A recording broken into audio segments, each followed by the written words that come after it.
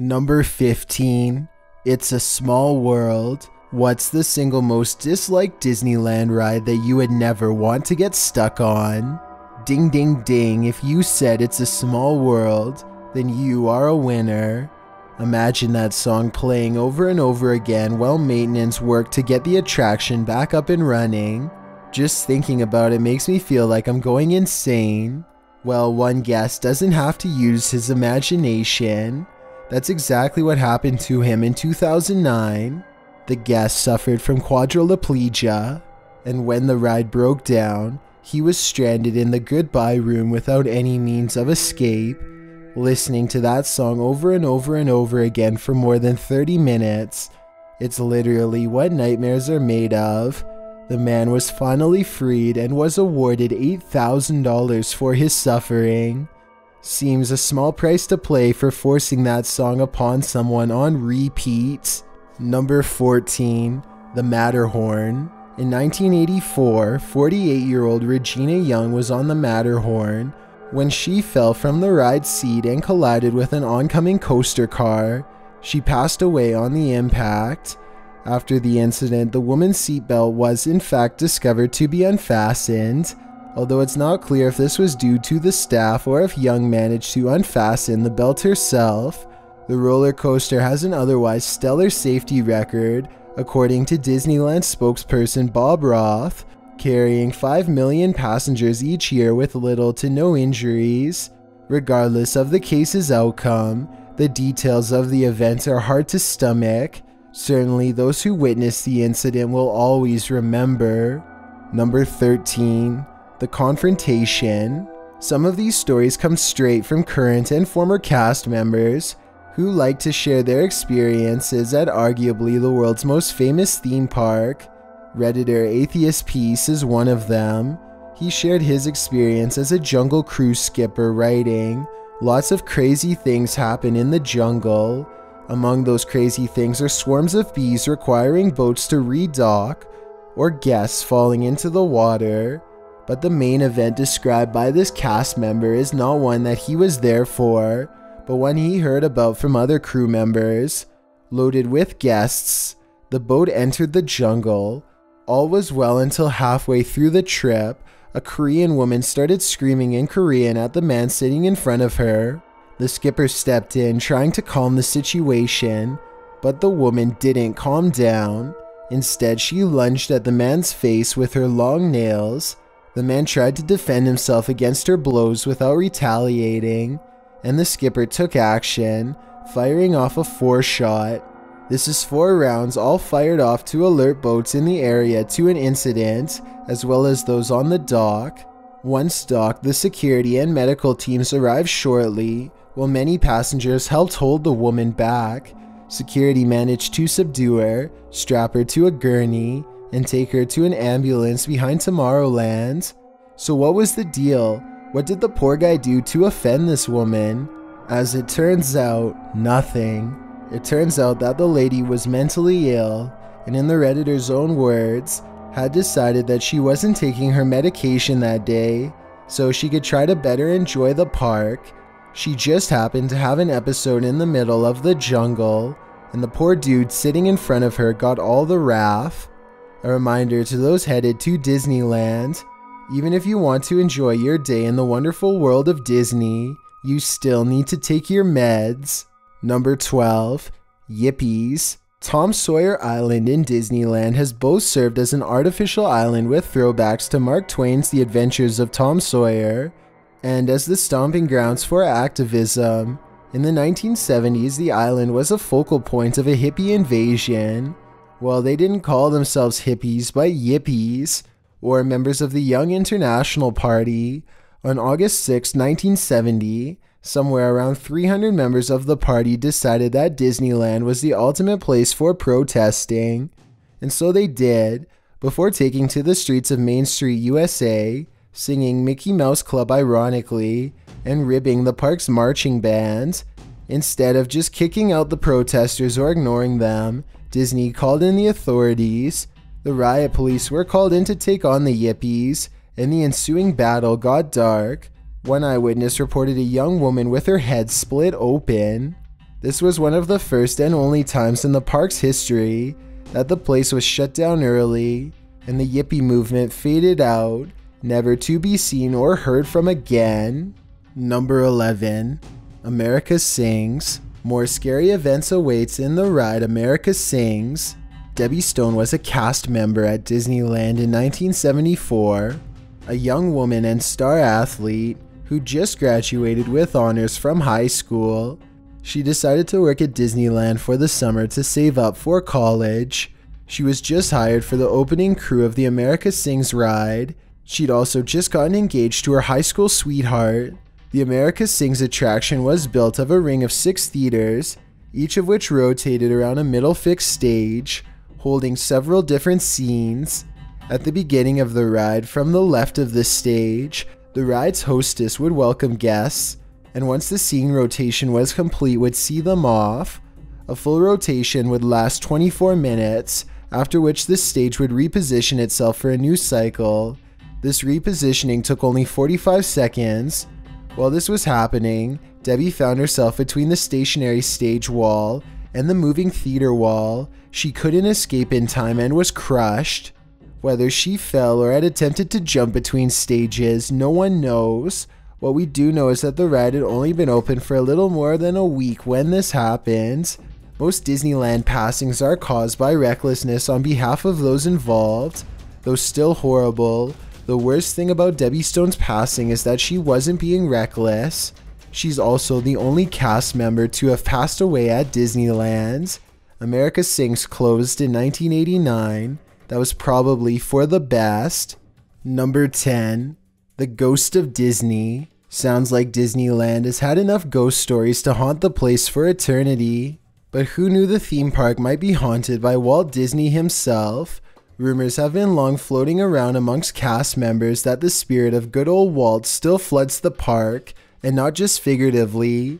Some say that a light in the mastermind's Main Street apartment would often turn on by itself. Others say they heard a voice whisper, I am still here. Whatever you believe, Disney cast members agree that it was too chilling to ignore, so they leave a light on in Walt's empty apartment to commemorate the man and the legend, and so that the ghost of Disney can stay up all night. Number 9.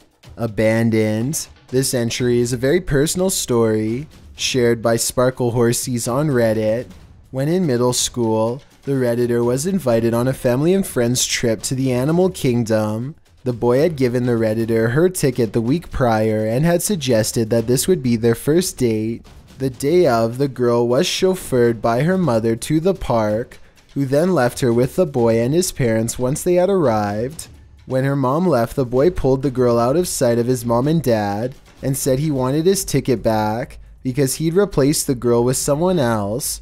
He then gave her ticket to another girl who was standing by and told his parents the Redditor had left with her mom because she was scared to ride the roller coasters, crying and without a cell phone, in Sparkle Horsey's own words. I remember being terrified and really sad. I ended up having to ask a lady at the ticket counter for a phone, and a Disney security officer waited with me until my mom came back. Of course, the story didn't end there. The girl's mom called the boy's parents that night and gave them the what for. The boy thankfully didn't get away with it. He was grounded for six months.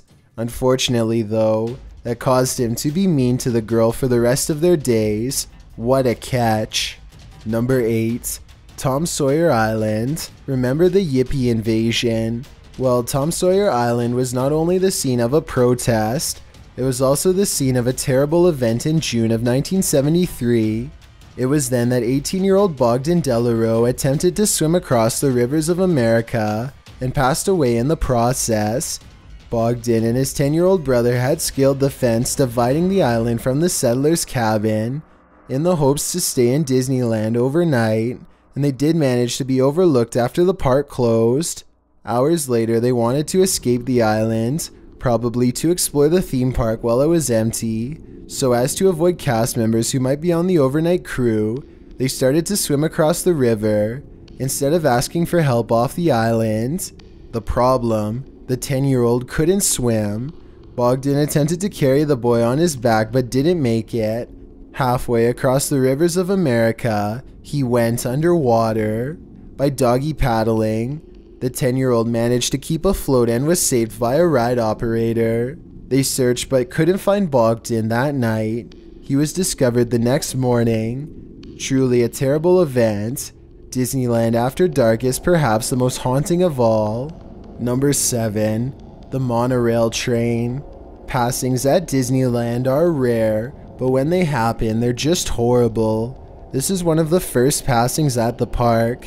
In 1966, 19 year old Thomas Cleveland tried to sneak into Disneyland. His plan climb the 16 foot tall fence, walk along the monorail track, and once inside, climb down. It was grad night when he made his attempt. He climbed up to the monorail track. A train was fast approaching. A security guard yelled at Cleveland from below, warning him of the oncoming train. At first, Cleveland ignored his warning, and when he finally listened and attempted to descend onto the fiberglass canopy below the track, there was unfortunately not enough space. The train collided with him, and he was dragged along the track. Everyone's worst nightmare come true, all in the happiest place on earth. Number 6. The Woman in White. The so called Woman in White haunts many a place the world over, from Brazil to Estonia to the Philippines. You can't get away from her, and Disneyland is no exception. Some have said the park's resident in waiting is a friendly ghost. She's taken it upon herself to guide lost children in the afterlife.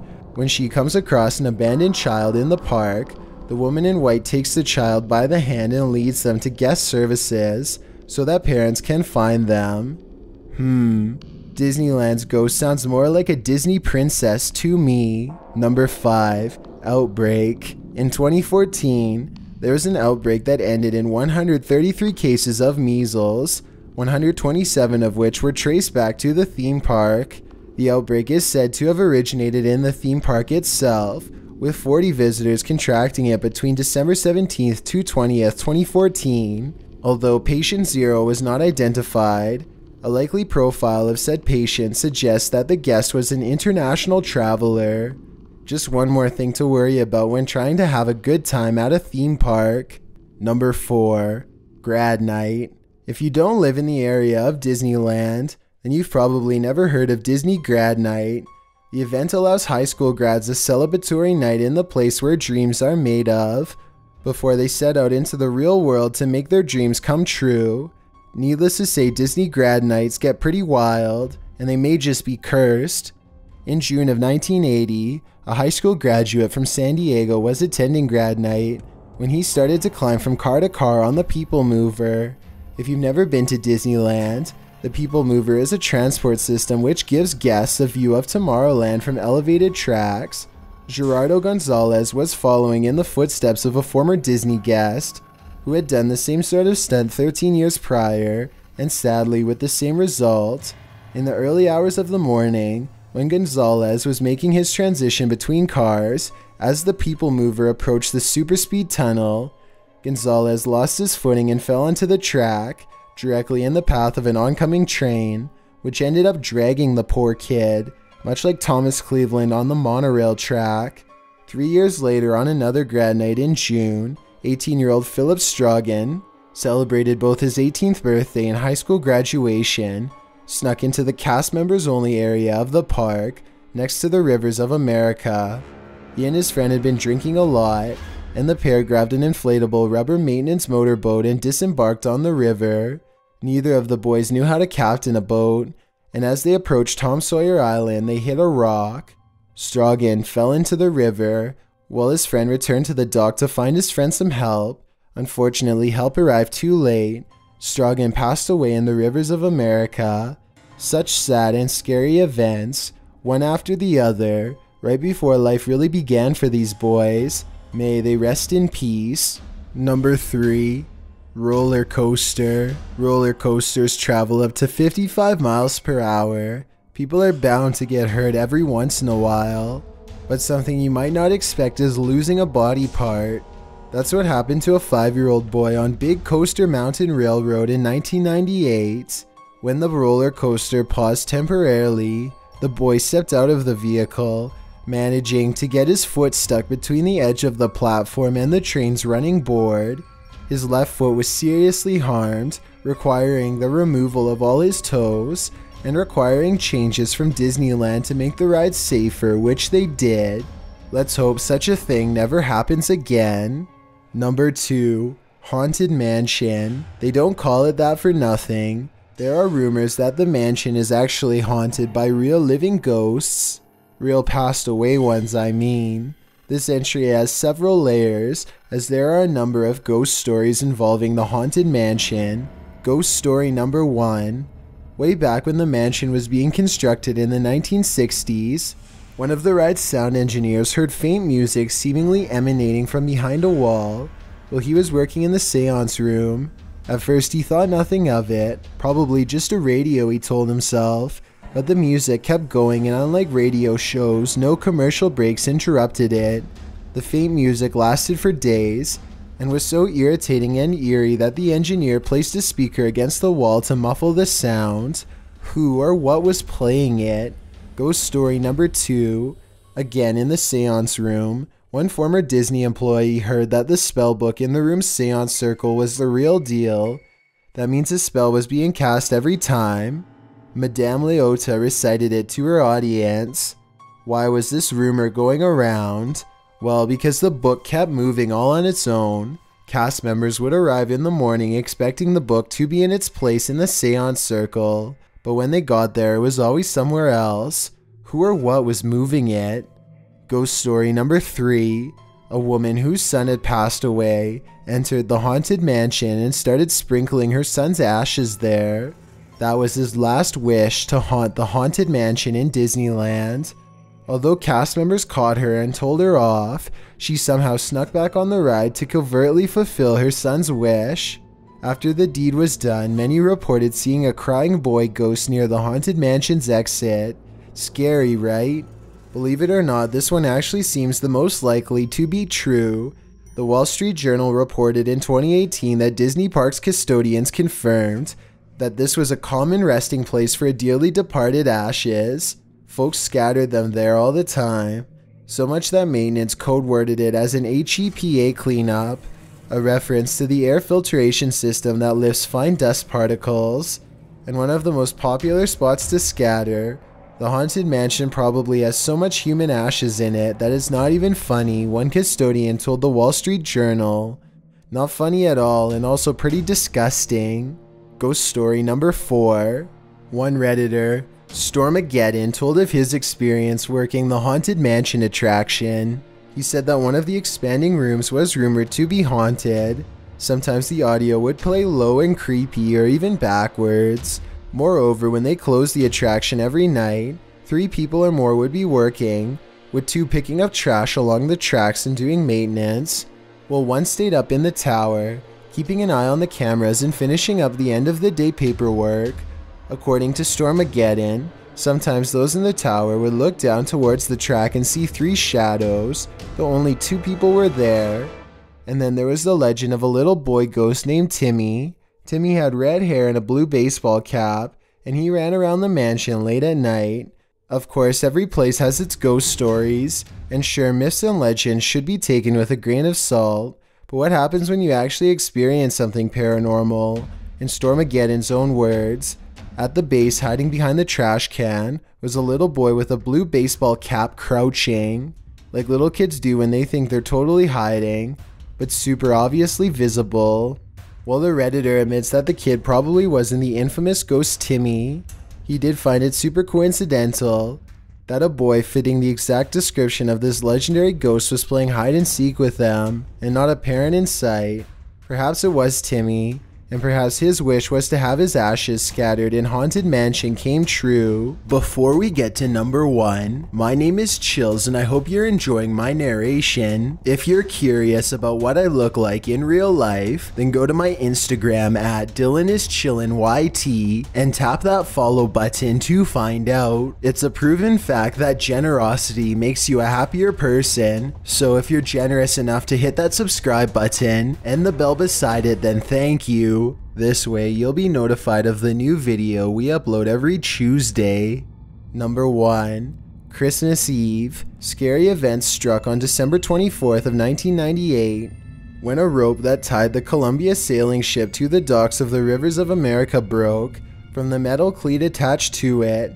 The cleat flew at two guests, getting ready to board the Columbia, while a Disney cast member stood alongside them, with metal raining down on them. And two days later, 33 year old Luan Phi Dawson passed away after his life support was disconnected. Unlike all other events on this list, this was the first in the park's history that was not partially attributed to guest negligence. Instead, it was found that the ride's maintenance was insufficient and the supervisor on duty was not sufficiently experienced to play an operating role for the attraction. This particular incident resulted in a call for increased government oversight in the operations and safety procedures of theme parks. Thanks for checking out this video. Be sure to subscribe because we upload new countdowns every Tuesday and Saturday. Or if you're still not convinced, here are some of our other videos that I think you'd like. Enjoy!